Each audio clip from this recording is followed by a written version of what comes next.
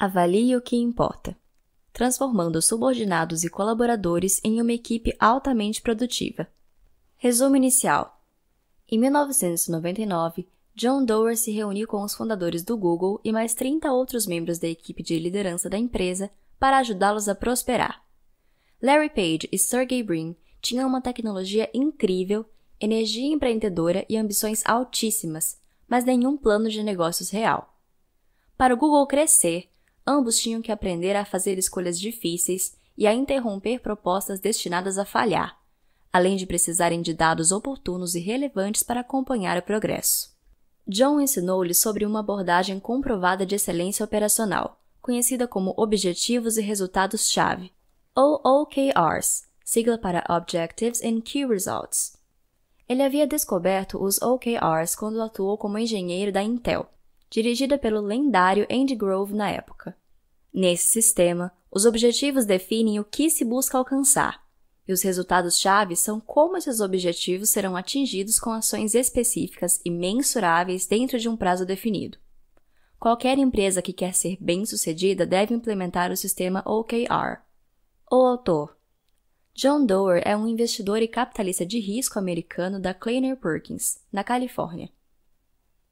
Entendendo os princípios das OKRs, o autor inicia o livro contando a história de sua reunião inicial com a equipe que liderava o Google após seu lançamento, o qual estava repleto de grandes ideias, porém com falta de experiência de gestão. Nessa reunião, John Doerr apresentou o sistema de OKRs que havia aprendido enquanto trabalhava na Intel. Segundo o autor, OKRs é uma metodologia de gestão que ajuda a garantir que a empresa concentre esforços das mesmas questões importantes em toda a organização um objetivo, ou objectives, é simplesmente o que deve ser alcançado e deve ser concreto, orientado por ações e inspirador. Por outro lado, os resultados-chave, KR, Key Results, monitoram como se chega ao objetivo e devem ser específicos, limitados no tempo, agressivos e realistas. Os OKRs expõem os objetivos que você tem, canalizando esforços e coordenação conectando diversas operações e causando um propósito a toda a organização. Entretanto, como qualquer outro sistema de gestão, os OKRs podem ser executados bem ou mal. Seu objetivo é aprender a usá-los da melhor forma possível. A primeira coisa que se deve fazer é estabelecer metas preferencialmente difíceis, pois estas impulsionam o desempenho e produzem um nível mais alto de resultado do que as metas fáceis. O autor revela que o grande problema das empresas que não prosperam é a falta de engajamento dos funcionários. Para reverter esse quadro, é imprescindível criar metas claras e definidas para criar alinhamento, clareza e satisfação no trabalho. Um sistema eficaz de gerenciamento como OKR vincula metas à missão da empresa, respeita os prazos, promove feedback e celebra vitórias, sejam elas grandes ou pequenas. Além disso, ele também expande limites. Após a apresentação, Larry e Sergey entenderam como os OKRs poderiam manter uma organização no caminho certo, e em menos de dois anos se tornaram firmes e insistentes no uso desse sistema. John revela no livro a essência do primeiro OKR que criou na Intel, para o microprocessador 8080, a fim de superar a concorrência. Objetivo: demonstrar o desempenho superior do 8080 em comparação ao Motorola 6800. OKR1 entregar 5 benchmarks. OKR2 desenvolver uma demonstração. OKR3 desenvolver os materiais de treinamento em vendas para a equipe de campo. OKR4 ligar para três clientes a fim de provar que o material funciona. Ele conta que aprendeu tudo o que sabe sobre o sistema OKR com Andy Grove. Para Andy, uma cultura OKR saudável deve ser composta de honestidade intelectual, desconsideração ao interesse individual e profunda lealdade à equipe. As principais lições que John aprendeu na Intel foram: menos é mais. As empresas devem montar de 3 a 5 OKRs por ciclo, e, em geral, cada objetivo deve estar vinculado a no máximo cinco resultados-chave. Defina metas de baixo para cima. As equipes e indivíduos devem ser incentivados a criar metade de seus próprios OKRs em consulta com os gerentes. Sem imposições. Mesmo depois de os objetivos da empresa estarem fechados, seus resultados-chave devem continuar sendo negociados. Seja flexível. Se um objetivo não parece mais prático ou relevante, os KR podem ser modificados ou descartados. Ouse falhar. A produção tenderá a ser maior quando todos lutarem por um nível de conquista além do seu alcance imediato. Os OKRs devem ser desconfortáveis e às vezes inatingíveis. Seja paciente e resoluto. É necessário criar de 4 a 5 ciclos trimestrais para adotar completamente o sistema OKR. Os superpoderes das OKRs. Superpoder 1: Foco e compromisso com as prioridades. As organizações de alto desempenho se concentram no trabalho que importa e são esclarecidas quanto ao que não importa. Os OKRs obrigam os líderes a fazerem escolhas difíceis, pois precisam focar em poucas iniciativas que são capazes de fazer a diferença real e devem adiar aquelas menos urgentes. O fato das OKRs serem uma ferramenta comunicativa de precisão para departamentos, equipes e colaboradores individuais faz com que a confusão na empresa se dissipe e que os funcionários tenham o foco necessário para vencer. Com o sistema OKR, as decisões erradas podem ser corrigidas quando os resultados começam a aparecer. Os OKRs forçam os gestores a focá-los em objetivos trimestrais, que direcionam o trabalho que deve ser feito para garantir o progresso contínuo dos seus objetivos finais. Finalmente, para inspirar o verdadeiro compromisso, os líderes devem praticar o que ensinam, dando o exemplo do comportamento que esperam dos outros e comprometendo-se com os OKRs de forma pública e visível. O sistema OKR determina que uma empresa limite os objetivos trimestrais a um punhado de metas cuidadosamente selecionadas, que devem ser claramente entendidas por toda a organização. Por isso, comunicar-se com clareza é essencial na tomada de decisões. Os líderes devem entender por que se faz algo e o que é esse algo. Ainda precisam passar essas informações para a equipe, a qual precisa entender como seus objetivos se relacionam com a missão da empresa o autor sugere que os OKRs trimestrais são mais adequados para acompanhar os mercados em rápida mudança de hoje, pois um horizonte de três meses reduz a procrastinação, aumenta o foco e leva a ganhos reais de desempenho. Ter cronogramas bem definidos intensificam o foco e o compromisso com a empresa. Afinal, nada nos move tanto para frente quanto um prazo. O autor ainda explica que não se deve confundir o perfeito com o bom.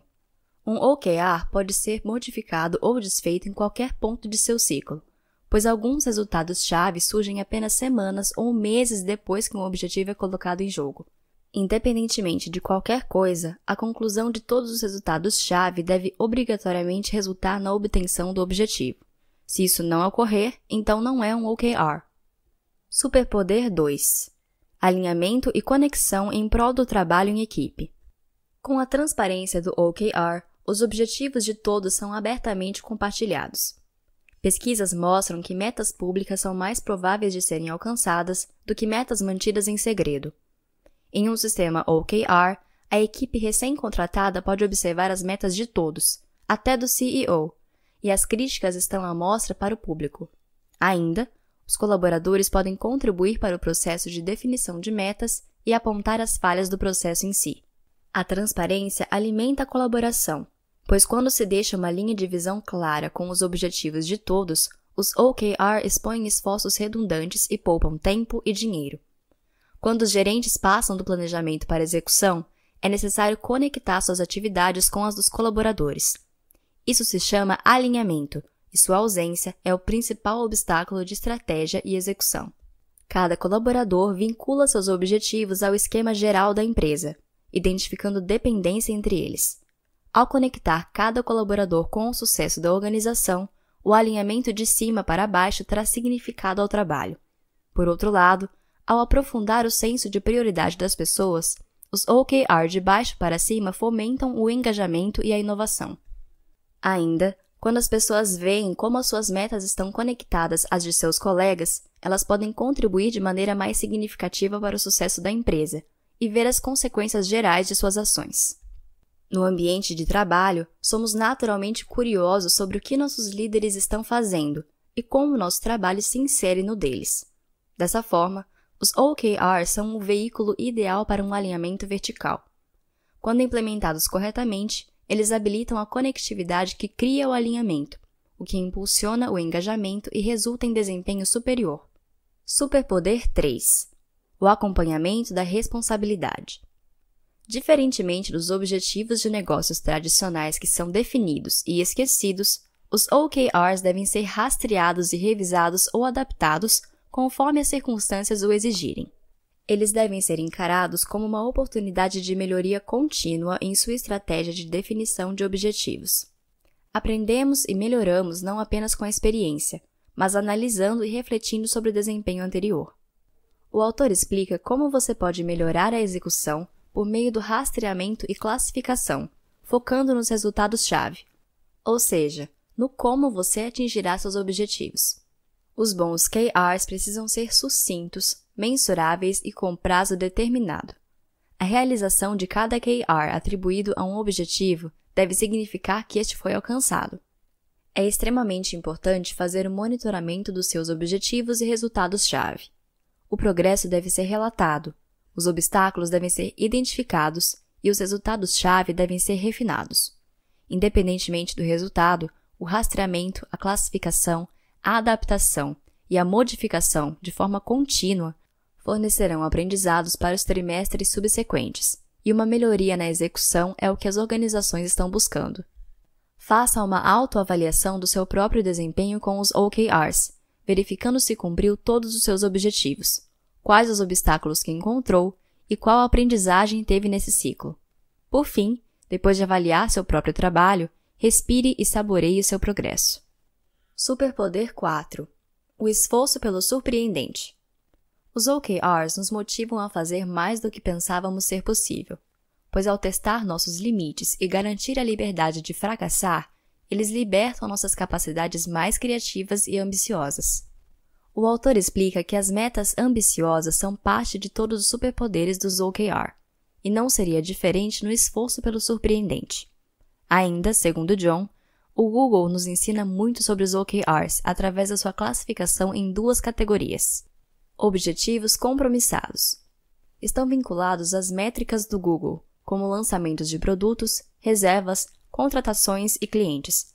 Esses objetivos compromissados, metas de vendas e receita, devem ser alcançados na íntegra, 100%, dentro de um prazo definido. Objetivos ambiciosos refletem ideias mais amplas, de maior risco e mais inclinadas para o futuro. Eles se originam de qualquer nível, visam mobilizar toda a organização e são difíceis de alcançar. Para se obter sucesso, uma meta desafiadora não pode parecer uma marcha sem propósito, mas deve ser aplicada de acordo com as realidades da empresa. Na busca de metas de alto esforço e alto risco, o comprometimento dos funcionários é essencial. Os líderes devem transmitir duas coisas: a importância do resultado e a crença de que ele é atingível. Os OKRs não se limitam a objetivos diários, tarefas simples ou listas de tarefas. Eles ajudam as organizações a deixarem suas zonas de conforto, serem ambiciosas e estabelecerem objetivos que levam a fazer uma diferença real. John Doerr separa dois capítulos apenas para expor a história do Google Chrome e do YouTube, contextualizando ambas as empresas com o esforço que fizeram para prosperar. Em 2008, Sundar Pichai era o vice-presidente de desenvolvimento de produtos do Google e assumiu o objetivo de construir a plataforma de clientes da próxima geração para o futuro das aplicações web. Em outras palavras, ele precisava criar o melhor navegador do mundo, cujo sucesso é medido por número de usuários. Então, usando o sistema OKR, Sundar criou um objetivo de três anos de duração, que seria construir o melhor navegador. Portanto, Todos os anos ele mantinha os mesmos resultados-chave, o número de usuários, mas aumentava a aposta. No primeiro ano, seu objetivo era atingir 20 milhões de usuários, e ele falhou, pois conseguiu menos de 10. No segundo ano, elevou a aposta para 50 milhões e chegou a 37 milhões de usuários. No terceiro ano, sua aposta aumentou para 100 milhões. Ele lançou uma campanha de marketing agressiva, melhorou a tecnologia e conseguiu atingir 111 milhões de usuários. tornou-se um ótimo exemplo de alguém que soube escolher cuidadosamente o objetivo certo e depois foi cumprindo-o, ano após ano. O YouTube teve uma história parecida com relação ao esforço no comprometimento com os OKRs, e o autor conta com detalhes cada parte dessa jornada. Susan Wojcik sempre desempenhou um papel importante no Google desde que entrou na empresa. Tornou-se a primeira gerente de marketing da empresa e, em 2006, foi uma das principais vozes em convencer o conselho do Google a adquirir o YouTube. Em 2012, o YouTube era o líder mundial em plataformas de vídeo. A metodologia OKR foi implantada para fazer o YouTube prosperar, Susan herdou o grande objetivo de atingir um bilhão de horas de pessoas assistindo vídeos por dia. O tempo de exibição tornou-se a única métrica para atingir o resultado-chave ambicioso, e o objetivo foi estabelecido para um horizonte de quatro anos, com OKRs trimestrais. O objetivo exigia atenção rigorosa aos detalhes e a estrutura e disciplina da metodologia OKR. Embora o objetivo tenha sido de cima para baixo, houve uma tremenda contribuição de especialistas da equipe sobre como chegar lá. Com muito esforço, hoje o YouTube chegou a mais de um bilhão de usuários, está disponível em cerca de 70 idiomas em mais de 80 países e possui um tempo de exibição diária de bilhões de horas, provando que colocar metas ambiciosas faz com que a empresa faça de tudo para atingi-las. Gerenciamento contínuo de desempenho.